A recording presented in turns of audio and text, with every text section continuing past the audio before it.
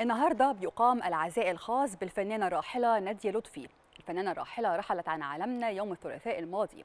الحقيقة الفنانة نادية لطفي لها دور مهم جدا في الحياة تجاه الجيش المصري سواء كان في حرب الاستنزاف أو في حرب أكتوبر.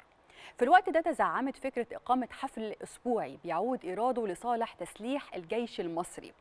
والحقيقة إن مش ممكن ابدا ننسى الدور المهم اللي قام بيه عدد كبير جدا من الفنانين زي الفنانة شادية أم كلثوم والفنان عبد الحليم حافظ وغيرهم من الرسائل المهمة الوطنية اللي قدموها للوطن. عشان كده مش غريب ابدا إن الناس دي تفضل موجودة معانا حتى الآن ومش غريب ابدا إن كل مرة وكل ذكرى تمر عليهم نفتكرهم وكأنهم لسه كانوا موجودين معانا امبارح. رحم الله السيدة الفاضلة الراحلة نادية لطفي لكل ما أعطته وأسهمت به كفن راقي قدم العديد والعديد والمزيد للوطن. عشان كده ما كانش غريب أبدا أن السيدة انتصار السيسي تنعيها وكتبت على صفحتها الرسمية بالفيسبوك تقول أنعي ببالغ الحزن والأسى وفاة الفنانة الكبيرة نادية لطفي التي رحلت عن عالمنا. تاركة خلفها تاريخا حافلا بالإنجازات والمعاني الراقية التي قدمتها في أعمالها الفنية والتي سيبقى أثرها باقيا في وجداننا. فالفنان يرحل بجسده لكنه يبقى خالدا في ذكراه. رحم الله الفنانة الكبيرة نادية لطفي وغفر لها وأسكنها فسيح جنته. في حساب كمان اتكتب عن الفنانة نادية لطفي عدد كبير جدا الحقيقة من الناس. يعني أفكركم كده برضو الفنانة سعاد حسني لما توفيت برضو ناس كتير قوي زعلت.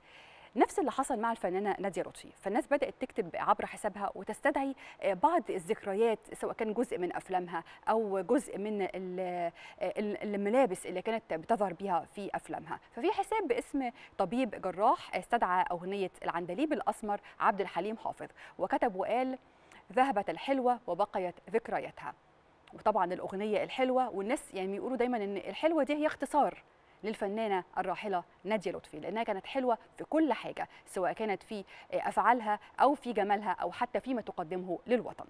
في حساب تاني باسم بخيت حامد نشر صورة للفنانة الراحلة نادية لطفي وهي بترتدي الثوب السوداني وبتقف على خشبة المسرح القومي في أم درمان. في هاشتاج بقى لنادية لطفي الأكثر تداولا خلال الأيام اللي فاتت رحلت عن عالمنا الفنانة الجميلة.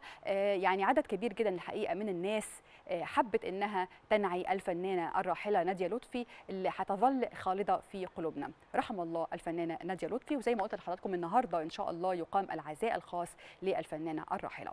البقاء لله وللأسرة خالص. العزاء